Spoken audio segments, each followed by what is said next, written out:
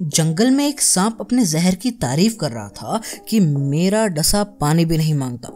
पास बैठकर मेंढक उसका मज़ाक उड़ाते हुए कहा कि लोग तेरे डर से मरते हैं, तेरे जहर से नहीं।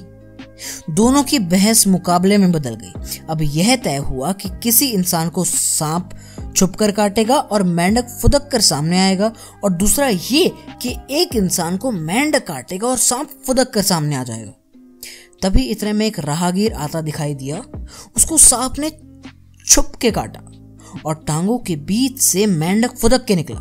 राहगीर मेंढक देख के जख्म को खुजाते हुए चला गया। ये सोचकर कि मेंढक ही तो है और कुछ हुआ नहीं होगा। अब दूसरे राहगीर को मेंढक ने छुप के काटा और सांप फन फैलाकर सामने आ गया। वह राहगीर दहशत के मारे ज़मीन पर गिर गया और उसने वहीं दम तोड़ दिया। इसी तरह दुनिया में हर रोज हज़ारों इंसान मरते हैं, जिनको अलग अलग बीमारियाँ होती हैं। कितने तो बगैर बीमारी के ही मर जाते हैं। अब आप देखिए कि दूसरी मौत के मुकाबले कोरोना से मरने वालों की संख्या बहुत ही कम है। दोस्तों, मेहरबानी करके सोशल मीडिया पर दहशत व मायूसी ना फैलाएँ। मौत एक सच है, हर हाल में आनी है, लेकिन सावधानी आवश्यक है। यानी कि प्रिकॉशन डर को खुद से दूर रखें। डर और निराशा से इंसान टूट जाता है। फिर उसका किसी भी बीमारी से लड़ना आसान नहीं। कोरोना से बहुत से लोग ठीक हो चुके हैं और हो भी रहे हैं।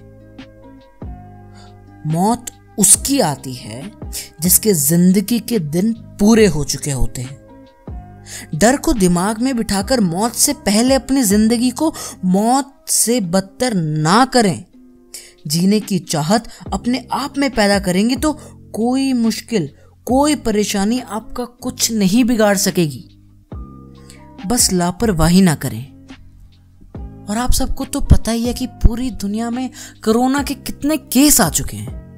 कितने लोग इससे ठीक हुए हैं और कितने ही लोग इससे मर भी चुके हैं।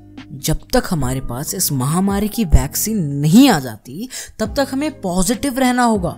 हमें ये सोशल मीडिया पर फैलाए हुए अफवाहों से दूर रहना होगा। और अगर हमारे अंदर ज़िंदगी जीने की चाह है, अगर हम पॉजिटिव हैं तो हम इस महामारी से बच सकते हैं। बस लापरवाही ना करें। धन्यवाद। अगर आपको यह हरियाणा न्यूज़ की रिपोर्ट अच्छी लगी हो तो सब्सक्राइब बटन प्रेस करें और बेल आइकन भी दबाएँ ताकि हमारी कोई भी नोटिफिकेशन आप मिस ना करें।